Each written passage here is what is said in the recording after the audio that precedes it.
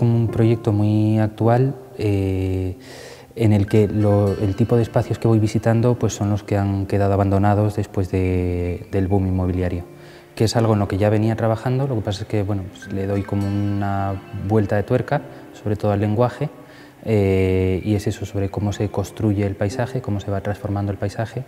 eh, cómo lo podemos interpretar. Y lo que intento es entre lo que conoce el espectador y lo que yo le muestro, que muchas veces son fragmentos, no son imágenes completas, pues se establezca una especie de imagen intermedia entre el espectador y lo que ve y ahí se esté realmente generando un, paisaje, una especie de paisaje mental.